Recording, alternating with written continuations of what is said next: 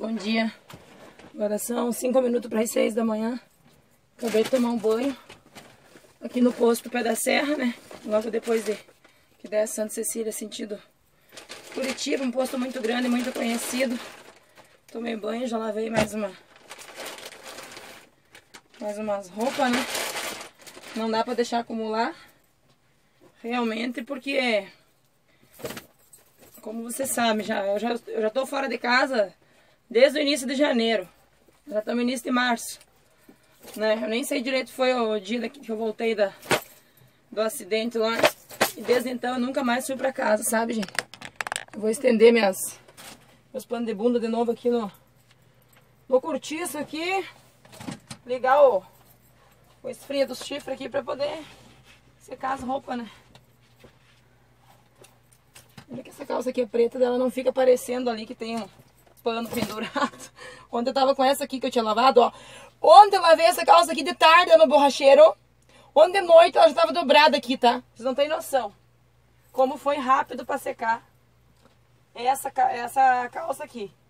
O, o vento aqui tava bem forte. Deixa virado bem pra roupa, né? Que esse ar aqui mesmo eu gosto de usar só pra dormir. E pra secar a roupa. Senão eu não gosto de usar o, o climatizador ali. Calcinha, eu tinha quatro ali que tava sem lavar na sacola, né? Pendurar aqui. Vai ter que tirar, não deixa eu me esquecer depois pra gravar lá em Curitiba, ela tem que tirar. Né? Como é que vamos deixar? Sabe esse negócio de pescoço aqui? Eu uso pra sentar. Sentar tipo o contrário, assim, ó. Assim, ó. Né? Sabe, né? Tem hora que não aguenta dor no corpo. Segurar a toalha.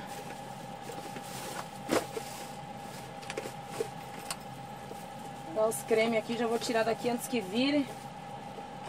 Porque é seguido que eu acabo virando os, os desmaia-cabelo que a Luane me deu.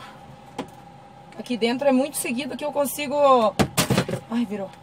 Virou. Caiu. Tá molhado ainda. Eles estão molhados.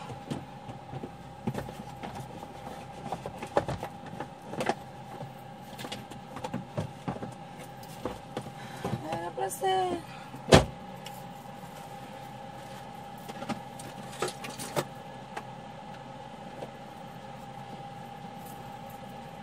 Meu short, vou deixar aqui atrás do banco, que é ele é um short que eu gosto de estar tá usando ele, assim.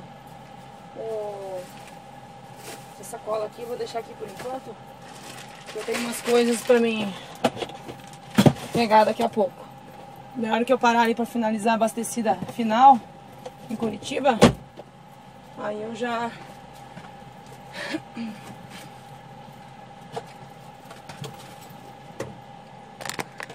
Já consigo, né? Lavei o cabelo, sequei. É fácil lidar com esses cabelos em banheiro de posto. Mas ainda que aqui nessa região tem as coisas, né? A gente tem acesso a tudo que precisa, né? Essa é a vantagem, né? Aqui, tinha eles aqui, eles estão em casa, né, gente? Então vamos, vamos dar início, porque...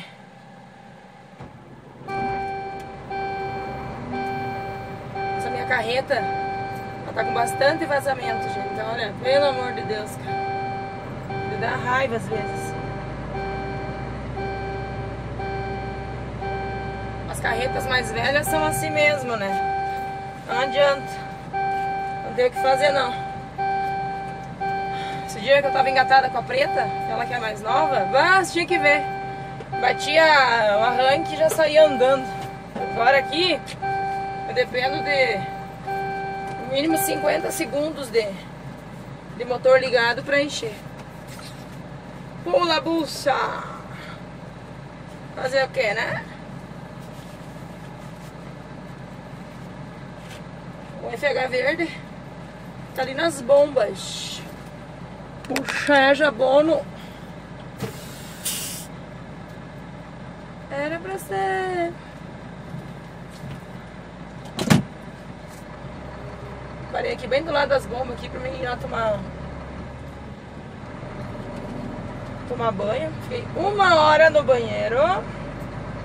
Esses cabelos aqui, menino, eu te digo, dá trabalho. Pensa que é fácil ser mulher na estrada, rapaz. Tem gente que acha que é tudo fácil. Não é que seja tão difícil, mas também, olha. Ai, temos nossos perrengues aí, né? Tadinha, tem uma uma senhora que ela faz programa aqui no posto. É, só tem ela, né? Mas as rodas do César brilhando. César é muito caprichoso. Muito caprichoso. Mas ela, ela, ela, faz programa aqui no posto, né? É só ela que tem aqui. Mas ela é uma senhorinha, gente. Ai, sinceramente, se é minha mãe, não deixa sair de casa, não. Não deixo, fica feio, né, cara? Aqui no posto não é que tá chovendo, aqui tá sempre molhado. Principalmente à noite aqui, galera. Aqui tá sempre molhado, não sei o que, que tem nesse lugar aqui. Tem que ver o pátio deles aqui do lado. Meu Deus.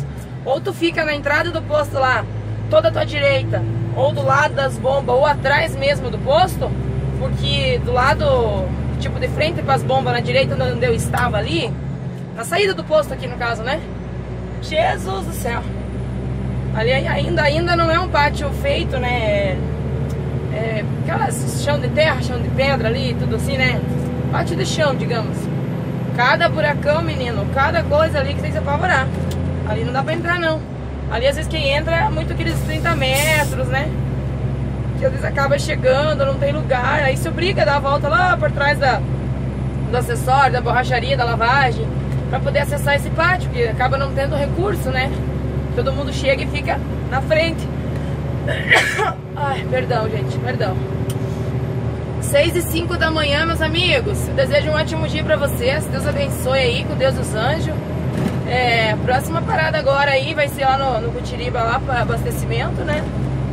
E encontrar com o pessoal lá do, do Band News.